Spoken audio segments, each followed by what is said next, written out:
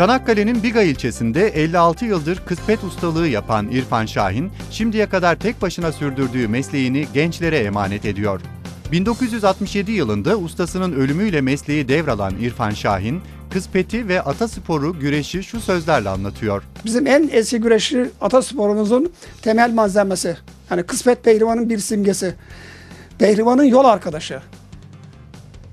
Ataspor yarı güreş bize atalarımızdan miras kalmış. En eski folklorumuzdan bir tanesi. Şu anda 657 senelik Edirne tarihinde şu anda geçmiş vaziyette. Kısmet çimen, pehlivan, davul zurna, cenk havası vurdun mu bu güreş seyredilir. Yani insan böyle işi gümbür gümbür eder.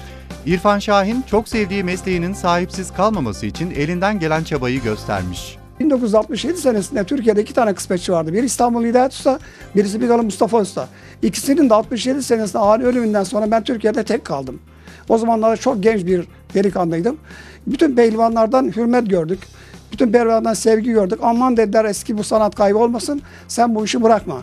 İşte ben de bu 50 senelik bir çırar gibi 50 seneden beri bu mesleği yapıyorum. Şurada 3-5 seneden beri de çıraklar yetiştiriyorum. Samsun tarafında, Biga'da, e, İzmir tarafında çıraklarım var. Devamlı telefon halindeyiz ve bu bu mesleğin kaybolmaması için gayret sarf ediyorum. Ve kaybolmayacak. Şu anda da çıraklarımız da fevkalade dikmeye başladılar. Ben de kendilerine her, türlü yardımı veriyorum. İrfan Usta yetiştirdiği çıraklarla daha uzun yıllar sürecek olan kıspet yapımının püf noktalarından da bahsediyor. Çok sağlam deriden yapılması lazım. Çok dikkat etmek lazım.